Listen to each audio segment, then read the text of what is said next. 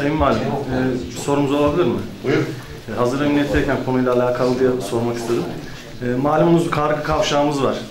E, son dönemlerde kaza oranı oldukça fazla. E, daha geçtiğimiz hafta iki ölü, e, beş yaralı olan kaza meydana geldi. Bu kavşak e, yeni yapıldı. Daha doğrusu yeri değiştirildi. Kaza oranı fazla olduğu için. Ama son değiştirilen e, tarafıyla da daha fazla kaza meydana geliyor. Bununla ilgili bir çalışma yapılacak mı? Yani şu anda böyle bir çalışması var mı karayollarının bilmiyorum. Ama sanmıyorum. Daha yeni değiştirilmiş bir kavşak. Fakat kavşağın çok kötülüğünden meydana gelmiyor kazalar maalesef. Yani bu yörede, Osmancık'ta da, Kargı'da da maalesef son zamanlarda kazalar oluyor ama artış yoktur sizin şey yaptığınız. Mesela kaç gündür kaza yoktur bu yörede? En son iki hafta önce olmuş. İki haftadır kaza yoktur bu yörede Kavşaktan. mesela. Ama Kazalar aynı noktada meydana geliyor. Noktada meydana geliyor. Ama e, bizim tespitlerimiz şu yönde. Yolun kötülüğünden, kavşağın kötülüğünden ziyade e, şoförlerin varış noktalarına yaklaştıkları bir nokta veyahut da diyelim İstanbul'dan çıkan bir şoförün yorulduğu bir nokta burası. Dolayısıyla reflekslerinin zayıfladığı noktalar buralar. Burada şoförlerin dikkatsizliği ve tedbirsizliği sonucu kazalar oluyor. Yoksa yani bu kavşaktan çok daha kötü kavşaklar var, çok daha kötü yollar var. Buralar duble yol neticede bu yol. Şoförler yorgun olmasa bizim trafik kanununun özü şudur. Trafik kanunun özü hava ve yol durumuna göre gitmektir. Yani şoför hava ve yol durumuna göre gidecek. Hava yağışlıysa ağır gidecek. Karlıysa ağır gidecek. Gece ise ağır gidecek.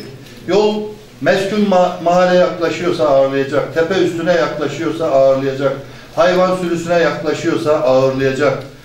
Yani dolayısıyla sürücü çok önemlidir. Sürücü havanın ve yolun durumuna göre gitmek zorunda. Diyelim bu yol asfalt olmasaydı, duble olmasaydı da ki eskiden öyleydi. Normal gelişi gidişi olsaydı her gün kaza mı olması gerekirdi? Hayır. Şoförler ona göre dikkat etmek, yolun durumuna göre süratini ayarlamak, dikkatini ayarlamak durumunda olması lazım şoförlerin. O açıdan biz her şeyde olduğu gibi burada da yine şoförlerin dikkatsizliği ve tedbirsizliği diyoruz biraz. Biraz da dediğim gibi İstanbul'dan çıkan şoför burada biraz bu noktaya geldiğinde artık yorulmuş oluyor. Malumunuz e, trafik kanunu onu da öngörüyor. Yani bir şoför belli saatten fazla araba kullanamaz aralıksız. Dört buçuk saatten fazla aracı, araç kullanamaz bir şoför. Mola vermek zorunda. Mola yerleri onun için yapılır yol üzerlerinde. Günde 9 saatten fazla bir şoför trafikte kalamaz. Günlük azami kullanabileceği, araç kullanabileceği saat 9 saattir. Ama bunlara uyulmuyor zaman zaman. Bundan kaynaklandığını düşünüyoruz. Bu kavşağın şu anda yeniden düşünüldüğünü, yeniden yapımının düşünüldüğünü sanmıyorum. Ama karayollarından sorabiliriz yani. Şu anda Yeniden bizim- yapılması değil de efendim, Bizim böyle bir eksikliklerin bilgimiz, yani bu kavşakta ayrı bir çalışma var mı diye bir bilgimiz yok. Şu. Sağ olun. Bu konuda ben e, Sayın Valime katkı yapayım.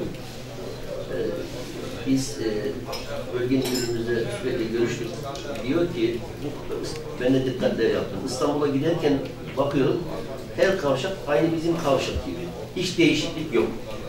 Burada e, Sayın Valim dediği gibi e, karayolları bölge müdürümüz de diyor, süratini azaltacak, 50'ye düşecek burada diyor. Şimdi çok ani karlıya giriş yapması gerekiyor. Yol çift arkadan gelen vurması gerekiyor ve oraya çarpması gerekiyor hızlı olduğu zaman. Burada bu kavşakta değişik ve tadilatı çok e, üzerine durduk. Önemli e, Karayolları Bölge Müdürümüze ısrarla söyledik. Yapılamayacağını söyledik.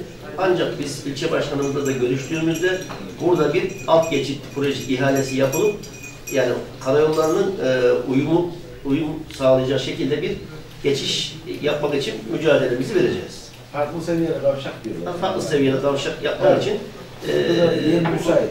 Olabilir diyor ama Yeni bir ihaleyle. 10 bin aracın geçmesi gerekiyor farklı seviyede kavşak olması için. Ee, bizde şöyle Yani gerçekten öyle başkanım. Şimdi Evet, maliyet yani bizim. Çorum'da da Osmancık bu güzergahta da yani İstanbul yolu diyoruz buraya. Bu yolda da böyle kazaları tetikleyecek kadar bir araç sayısı hakikaten yoktur yani. Çok yoğun bir yol değil yani bu yol tamam.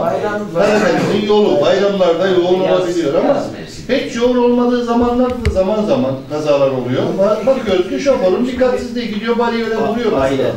Bariyere vuruyor.